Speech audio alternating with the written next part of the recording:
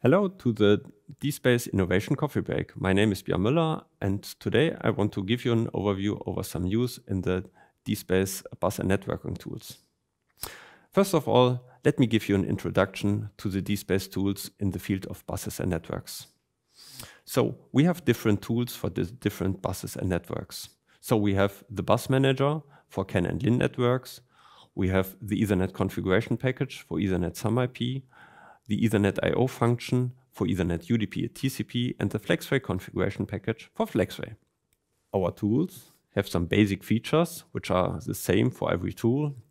That is especially for the automotive protocols, the import of the different databases, for example, AUTOSAR ARXMLs, system templates, DBC, LDF, or FIBEX files. Then we have a graphical user interface where you can configure your simulations for real-time and offline simulation. We have, in general, the possibility to do simulations on a dynamic, on a synthetic, or on a, um, a static level.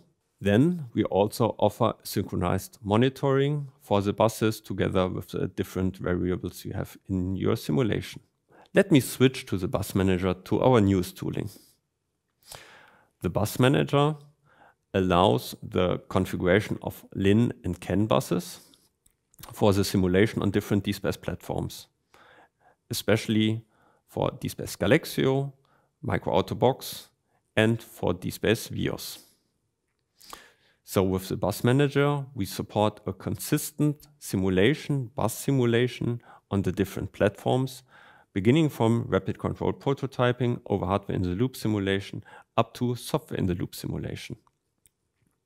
Our tools provide convenient configuration options um, through the integrated features so that uh, you as a user uh, gets easy possibilities to configure your different buses and networks. The bus manager is a successor of the RTI CAN and LIN multi-message block sets. Let's have a view of the bus manager about his basic feature. So first of all, we have the possibility to integrate and uh, uh, to import communication metrics. Of course, we support all the latest uh, communication metrics, for example, for uh, AUTOSAR, the AUTOSAR 2011. We have a versatile communication metrics visualization after importing, so you can view, you can fold, you can search for the different elements you want to configure, you want to use in your simulation. The configuration itself is possible across different buses, across different uh, communication metrics files and different clusters. So very flexible. The bus manager is modeling tool independent. That means you have the possibility to connect your bus simulation to different environment models like MATLAB Simulink or via FMU to different other tools. With the bus manager, we also support the different test and uh, experimental tools, for example, Control Desk Bus Navigator, or also Automation Desk or third-party tools. Every configuration feature we have in the bus manager is also automatable. That means you have a tool automation interface via Python. And of course, with the bus manager also the different hardware or platforms can be configured. So what's special about the DSpace bus and networking tools? So our mission is that we want to offer all the needed features in a very convenient way. So your work is developing and testing and should not be um, uh, uh, the, uh, the very complex configuration of AUTOSAR features. So all the typical features of the new and upcoming AUTOSAR releases, which are getting more and more complex, are directly integrated in our bus tools, like in the bus manager. So features like counter, CRC, end-to-end -end protection, or SecOC, global time synchronization, is completely integrated in the bus manager to reduce the effort to reduce the hand programming which is needed. And all that with a consistency through the different development steps. To give you an example, I have here an overview over secure onboard communication. So secure onboard communication is getting easy with the bus manager. You have to import the communication metrics, all the different elements like, uh, the, like the PDUs, um, the secured PDUs, the authentic PDU is directly recognized by the bus manager. Then you have to integrate one time the C code because uh, the C code is not part of the AUTOSAR release. After that, you can select very easy the elements you want to simulate. All the information about these elements is shown, for example, in that property grid.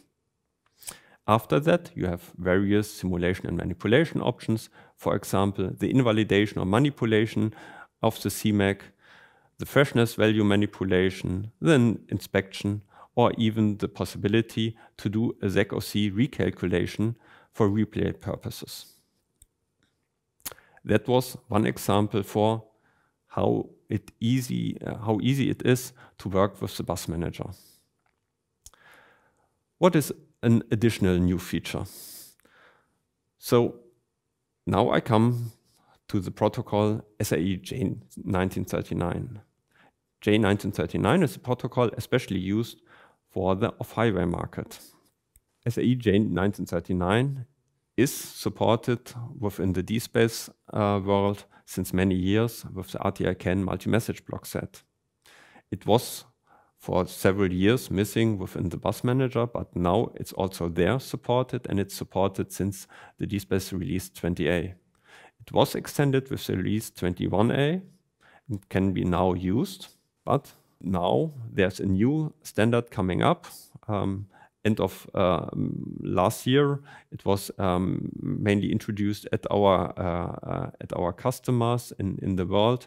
Um, the SAE J1939 standard now with the support of CANFD. Basically, it is a J1939 with higher bandwidth for the increased demands in the field of security and safety. We will support that in the bus manager roughly mid of this year so that you can make use of this new standard also within the DSpace world.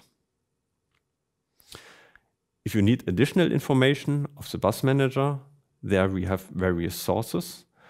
For example, we have, if you start working with the bus manager, a small introduction video, which is available on the DSpace website and also available in the DSpace release. We have DSpace uh, uh, bus manager migration scripts. So if you're switching from the RTI CAN multi-message block set or RTI LIN multi-message block set to the bus manager, then you can uh, make use of these Python automation scripts uh, to start working with the DSpace Bus Manager. Then we have a DSpace uh, tutorial where we have nine helpful lessons to give you an overview how to start your projects with the Bus Manager. Of course, we have Bus Manager help. And if you need some additional help from our specialists, we also have a Bus Manager training. Thanks, and uh, I wish you a nice day.